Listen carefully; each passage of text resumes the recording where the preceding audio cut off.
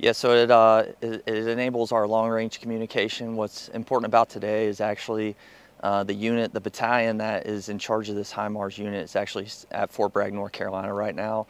Uh, and so the communications will go from Camp Lejeune to Fort Bragg, and then uh, our battalion at Fort Bragg will actually send the mission to the HIMARS unit here at Camp Lejeune. Uh, so it, it, enables our long-range communication uh, from here three hours away. Uh, and so it's, it's good for our not only our communication Marines, but our, our Marines here in the, in the artillery unit to, to utilize those uh, communication assets. It can be done here um, at, in North Carolina on the East Coast. We do it in 29 Palms as well. We do it overseas uh, in the Middle East. We've done it uh, in the Middle East. We can do it um, in a uh, you know in an island type environment, um, uh, land and sea.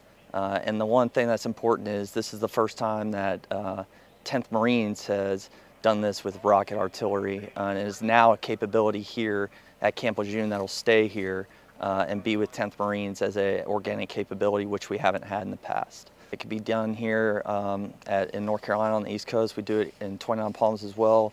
We do it overseas uh, in the Middle East. We've done it uh, in the Middle East. We can do it um, in a uh, you know an island type environment, um, uh, land and sea. Uh, and the one thing that's important is this is the first time that 10th uh, Marines has done this with rocket artillery, and it is now a capability here at Camp Lejeune that'll stay here and be with 10th Marines as a organic capability, which we haven't had in the past. Yeah, so before we only had them at Camp Pendleton and at our uh, reserve regiment down in Texas. Uh, so this is the first time 10th Marines has it where we can now support uh, units in 2MEF uh, throughout the globe uh, with, the, with the rocket artillery capability. With Force Design 2030 um, coming online with, uh, with the artillery community, we're, we're going to have more rocket capability, more rocket artillery has a much longer range and it's much more accurate. Um, we'll still have a cannon capability uh, to support uh, infantry maneuver, uh, but, but this gives a much longer range capability to support Marines uh, throughout the globe and uh, it's a longer, longer range, longer communications, and, uh, and a more accurate weapon system. Absolutely. Uh, so I'm confident because uh, when I first got here, we were a new team, and just over the couple of months, we've vastly improved in everything from camaraderie to team building skills up to the basic to advanced level task. We've came a long ways, and right now we're just we're ready to do this. It's finally about that time. The Marines need it. Everybody needs this, and it's just it's a good display to show the new capabilities that we can provide on the East Coast. Uh, long range precision fires with artillery. So uh, generally we use cannons. It's uh, not as accurate, and uh, we can't really range as far this provides uh, that new depth to the battlefield for us. Uh, just in general, just having this extra capability, uh, whenever we actually do get targets that are uh, pretty much way beyond in the distance, it allows us to precisely impact and make strikes on targets that just need to be strictly hit on, rather than having uh, more uh, just accidental casualties, infrastructure, survivability. We can just hit exactly what we need to on time with extreme precision. Uh, this year, my focus is just uh, pretty much making sure that I'm doing what I need to do for my team and make sure that the Marines beneath me and under my charge have full faith in me so that I can lead them to success with this, with this mission.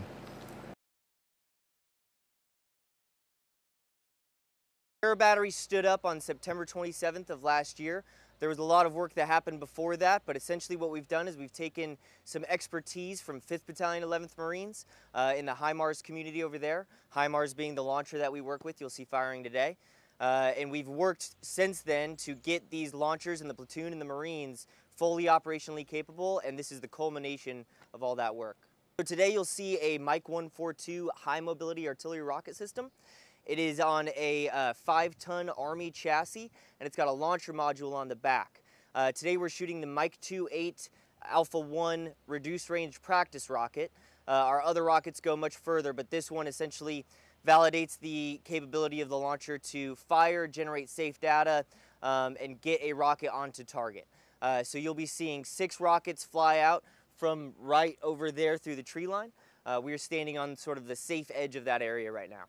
Uh, the HIMARS system brings in a lot of different types of rockets, um, and most of those focus on a lot of precision. So the launcher will has um, fifth order survey data to know where it's at, and then if we get good data of where the target location is at, that rocket should be landing um, exactly where you tell it within three meters. Now, the reduced range practice rocket uh, is a little bit different, but that's the rockets that we normally work with in some sort of combat scenario. Yeah, absolutely. So uh, Force Design is going very heavy on uh, rocket artillery in general. So HIMARS has been around since I think 2011. Uh, the Marine Corps started using it over in 1st Marine Expeditionary Force. Um, we decided to start bringing this capability uh, out further to help with the force design missions of distributed operations, having launchers in areas far away from necessarily where the supported unit is or from where the targets may be. Um, and this produces that range for us. So most of our rockets um, go much further than cannon artillery. And as the Marine Corps sort of shifts to rocket artillery, um, this allows 2MEF to have the capability that 1MEF has been working for um, for quite some time. But now 2MEF is going to be moving very heavy towards rocket artillery. Uh, I think within the next 10 years we intend to have a full battalion of rocket artillery, whether that be anti-ship or land-to-land -land sort of fires. Yes, so the transportability of this uh, launcher is, is pretty unique. It, um, it fits on a C-130, which is a fixed wing aircraft. Uh, and that C-130 can land on any airstrip. We push the launcher off, and then within minutes, it is able to receive a fire mission from a uh, operational center that is anywhere from one to 3,000 kilometers away. Uh, and it does that with a lot of the communications technology and then the GPS technology that is requisite with inside the launcher. I am. Sierra Battery has been a, a very good crew. I've been blessed with phenomenal sergeants and lieutenants um, and lance corporals at every level.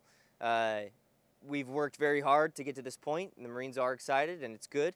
Um, but they also know the importance of, of doing this in a, in a safe and efficient manner. So I'm, I'm very proud of this team, and I think they're going to do great.